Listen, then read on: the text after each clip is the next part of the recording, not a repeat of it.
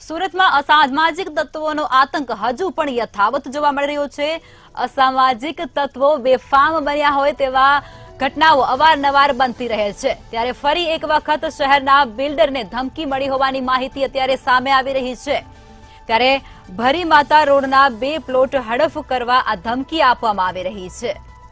ધમકી માલ્ટા અડાજણના બિલ્ડરે નોંધાવી છે પોલીસ ફરિયાદ. અર્જુન રબારી અને લાખા ભરવાડ સામે આ ફરિયાદ નોંધવામાં આવી છે. જ્યારે અસામાજિક તત્વો બેફામ બન્યા છે, ત્યારે હવે પોલીસ ફરિયાદ પણ નોંધવામાં આવી છે. બિલ્ડર પાસેથી પચાસ લાખ રૂપિયાની ખંડણી માંગતા હોવાનું પણ અત્યારે ઉલ્લેખ કરવામાં આવી રહ્યો છે. ફરી એક વખત શહેરના બિલ્ડરને ધમકી મળી છે.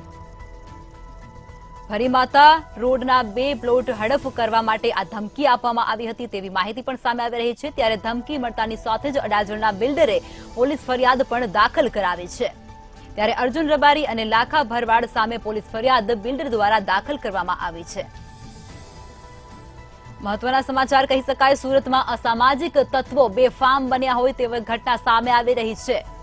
ત્યારે ફરી એક વખત શહેરના એક મોટા બિલ્ડરને અસામાજિક તત્વો દ્વારા ધમકી આપવામાં આવી રહી છે. ત્યારે ભરીમાતા રોડના બે પ્લોટ હડફ કરવા માટે બિલ્ડરને ધમકી આપવામાં આવી રહી છે. ત્યારે ધમકી મળતાની સાથે જ અડાજણના બિલ્ડરે પોલીસ ફરિયાદ પણ દાખલ કરાવી છે.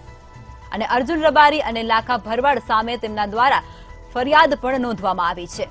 જોકે ફરિયાદ મળતાની સાથે જ પોલીસે કાર્યવાહી પણ શરૂ કરી દીધી છે.